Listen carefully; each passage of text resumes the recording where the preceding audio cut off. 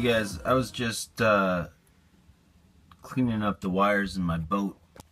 I have a ton of wires um, for different accessories, but it's kind of still work in progress. But um, I got to thinking how my amplifier and um, some other accessories bilge pump was attached to my boat.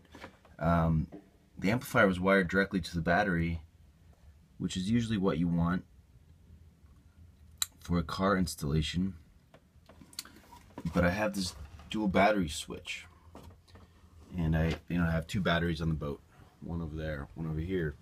And I got to thinking, the amplifier can never really be shut off. So even if I turned this to off, which I do when I store the boat for more than a day, the amplifier is still attached to the battery. So there's a, still a little parasitic draw. I know because when I attach uh, the amplifier wire to the batteries, it'll spark.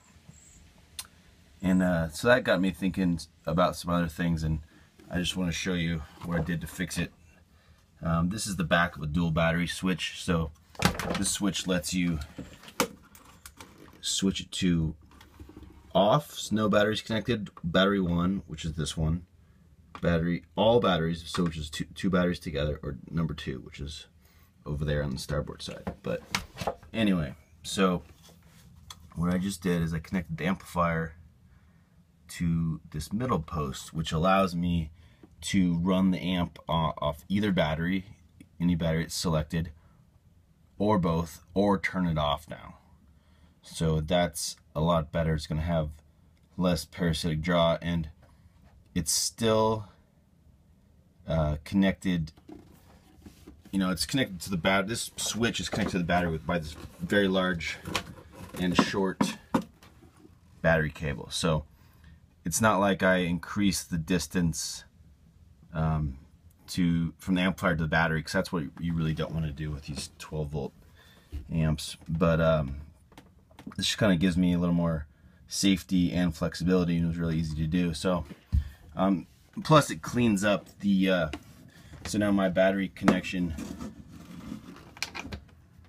uh, for the positive is only is only one wire which is awesome just cleans up the installation uh, I just was putting in this brand new battery and got to thinking I, I really I don't here on the negative I kind of have to do this but um, I, I don't like it. I like having a really clean installation.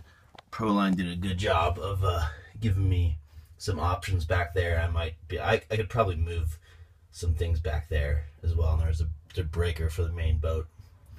Um, but anyway, so I just thought I'd mention that.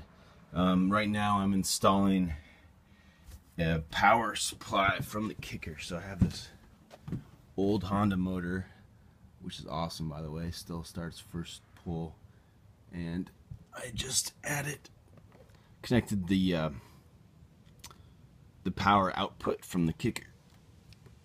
To so I can charge my batteries my boat batteries. So I kind of needed that because I, I got these electric downriggers and just basically trolling a lot more. Downrigger goes here trolling a lot more and using a lot more power when the main motor's off so um, yep. So as I start to add more and more accessories just kind of kind of plan ahead so. Anyway guys I just this video is getting too long. I'll talk about some other stuff separately but I just wanted to mention um, that's how you can set up your dual battery switch. And also what I'm doing too is see how this focus here. See how this terminal is all corroded? See that dust and that greenness? I just cleaned both of these and put dielectric grease on them and this will keep the saltwater corrosion off. Great stuff uh, goes a long ways. So get yourself this and uh, also coat all my battery terminals. Any bare metal I coat it with this. So there's a good tip for uh, you saltwater guys and um, you freshwater guys as well. So